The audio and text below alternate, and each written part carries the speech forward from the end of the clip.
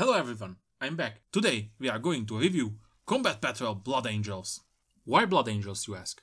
Because you like jump packs, shock assault, and you like the cool space vampires who are noble and artistic, but also can go full berserk on the enemy. What does full berserk mean, you asking? Well, first of all, when you are charging, you have plus 1 to your charge rolls. And after that, you have plus 1 attack in the turn that you charge. And other than that, you have plus 1 to your wound rolls when you are charging.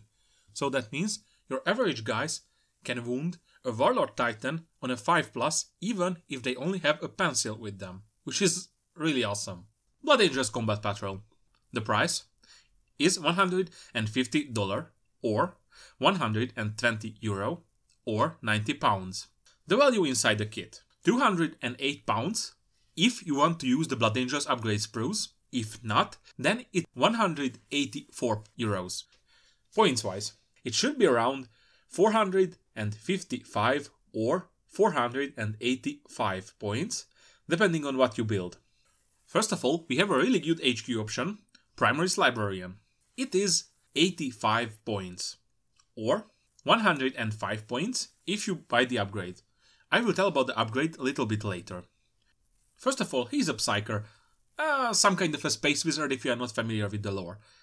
Rip off the bandage fast. If you are playing Blood Angels or Ultramarines, you have better option than him, but he is a really good starting option to get to know if you really like the space magic thing, psychic powers. The interesting thing is, the kit is not very customizable, you can only change between two heads, but at least you got one of the rare bearded ones, which are great in my opinion. But the character in game is really customizable. You can change between psychic powers or spells, how you want to call them. You can make them an offensive, good damage character, or even defensive support one. Which one do you prefer?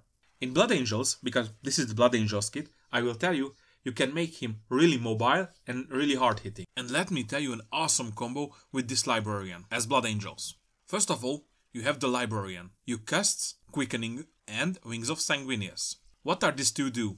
Well, first of all, Wings of Sanguinius. Well, basically, it gives wings to your Librarian.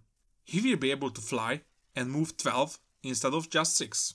And Quickening will make you fast. That means you can reroll your advance rolls and your charge rolls, but also you gain d3 more attacks. If you roll well on that d3, your librarian will have 9 attacks on the charge, with the possibility of doing 27 damage, which is enough for taking down a knight around 500 points. Highly unlikely, but it can happen.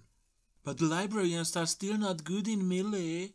Tell it you're floating vampire Jesus here. In other chapters, he's also able to dish out melee damage, sometimes even good melee damage, however he is not so good at taking damage. All in all, he's a really good character to test out you really like magic. In normal cases, he knows 2 psychic power and smite, able to cast 2 psychic powers and deny 1. Denying means stopping the enemy's psychic power. As I mentioned, he can be 105 points, which means you purchase the upgrade Chief Librarian, which means he knows 3 psychic powers and smite, still able to cast only 2, but able to deny 2 which is a nice upgrade. All in all, I think he is one of the best options for Space Marine HQs. He is also able to defend as able to attack, which is good. The only downside, he has a little bit low mobility and no invulnerable saves.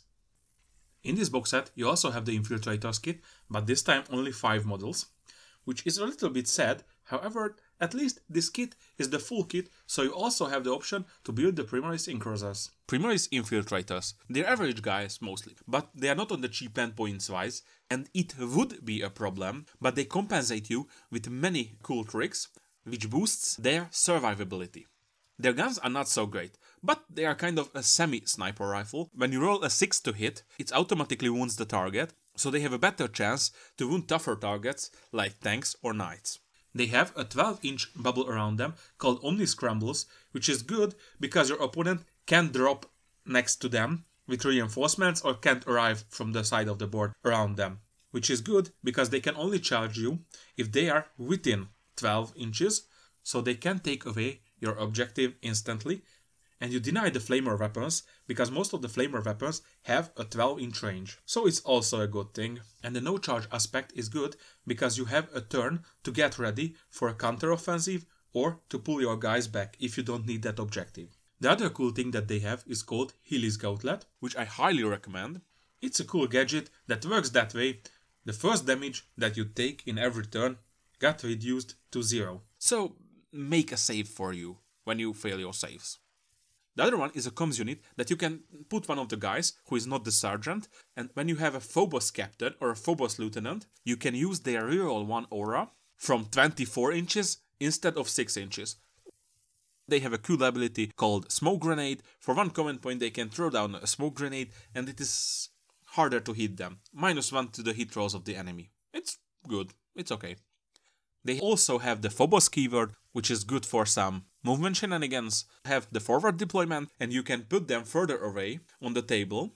But let's check out the new guys. Primaris Incursors. First of all, I really like these guys. You get 5 models for 90 points. They are an excellent unit, cheaper than the Infiltrators, almost the same, but they are more offensive, while the Infiltrators are more defensive. They also have cool tricks, but different ones. First of all, they ignore any cover and ignore anything makes them hit worse, like smoke, forests, ruins. So, hit good and stay that way. Nice. They have a better armor penetration in melee, which is great for the Blood Angels, Space Wolves, so these are the guys that you want push forward. Oh, on forward. They also have forward deployment, like the Infiltrators, so you can put them further away on the table. They can also take a mine with them, which means if the enemy charges them, then on a roll of 2 plus, the mine blows up and deals D3 mortal wounds. If the charging enemy was a vehicle, then it deals flat 3 mortal wounds, which is really great. Remember, mortal wounds are those types of wounds that you cannot make an armor or an invulnerable saves against.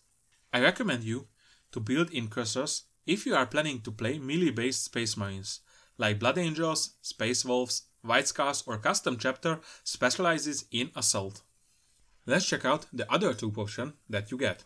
Primaris Intercessors, 5 model, 90 points.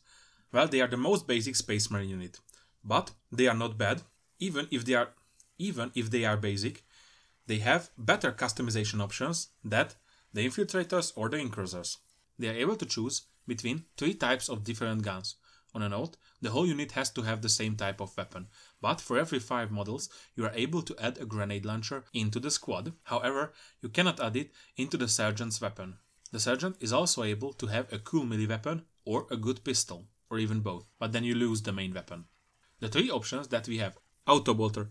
It has the shortest range between these three options, but it has three shots. And you can fire it even after running, then you hit a little bit worse. But I think it's still the best option if you are planning to use these intercessors as shock assault troops. Bolt rifle. It has a longer range and 1 point of armor penetration, which is nice. It normally has one shot, but if you are not moved or you are within half range, you have two shots. I prefer this weapon because this one is the most versatile in my opinion. You can have it on a squad who is stand back and fire, or you can have it on a squad who is marches forward, then they are also shooting too because they are within half range probably. And last, Stalker pattern bolter. It has the longest range and it deals 2 damage and it also have an armor penetration of 2, which is nice. But this weapon only has one shot and it's heavy, so if you move, you hit worse. I think it's only worth taking if you are planning to leave that squad on the backfield and shoot, or you are planning to play Ultramarines. I think it's wise to take a melee weapon on your sergeant. The best options are the chainsword, the power sword, or the power fist. You also got the option of a thunderhammer, but that one is not free, while the other three is. So I recommend you choose between those three. Before leaving, I think I should tell you a cool little trick. Well, in most cases, you can throw one grenade in a shooting phase if you are not shooting with a weapon. But as I said, you can add a grenade launcher into this team. So, that grenade launcher is not a grenade, it's an assault weapon. So if you add a grenade launcher into this kit, you can throw two grenades, not just one. Although the rocket launcher one go 5 times further than the normal grenade. Let's go to the elite option, aggressors. 3 models, 90 points. I really like these models but they have some issues. They are chunky, which is nice. They are more tankier than normal Space Marines. They have one more wound. They have better toughness, toughness 5. They have these two weapon options integrated into their gauntlets. You can choose between these two. One of them is a flamer and one of them is a bolter. The difference between these two weapon options, while the bolter has better range and fixed 3 shots per gauntlet, then the flamer has shorter range and between 1 and 6 shots each hand, it automatically hits the target. And you can also add a frag launcher to their backs, which has the same profile as the bolter, but with d6 shots and blast. Blast means it hits more times against hordes, but you cannot shoot it in melee. You cannot shoot in melee either, so it doesn't mean anything in this case, just hitting better against hordes. I prefer the Boltstorm Gauntlet because then all of the weapons have the same profile and can shoot the same target. Meanwhile, if you take the Flamestorm Gauntlet, maybe you are not in range with your flamers. You can only shoot your Fragstorm launcher, but if you are planning to play Salamanders, then the Flamestorm Gauntlet is really good for you. All the unit options were great in this box set, but I think probably this is the best one. Impulsor. One model and it 100 points. It's a transport which can transport up to 6 person. This is one of the few vehicle options that let you disembark after you moved and unleash hell exactly where you need it. It has many weapon options and some of them are really good and interesting. Let's check out the first one, which is almost integrated in the hull. You can change them, but I would not recommend. It's really good in its normal state. Two storm bolters, eight normal bolter shot, and that's it. Good, efficient. Okay, nice. Other than that, you can add the heavy stubber, which is four more bolter-like shots, but with a little armor penetration. For free, obviously, why not? And you can choose between some options. One of them is a shield, which gives a 5 plus invulnerable save to the impulsor. The other one is rocket launcher, versatile weapon, which is somewhat good against tanks, somewhat good against infantry, so it's all in all nice. The other options are not not the very best in my opinion. One of them is Skull and Orbital Bombardment once a game, which in most cases it's not good unless your opponent is really stacked in one place.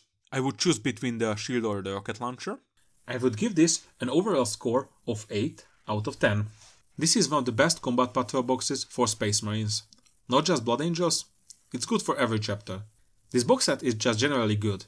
If you are planning to start Space Marines, I recommend this box set.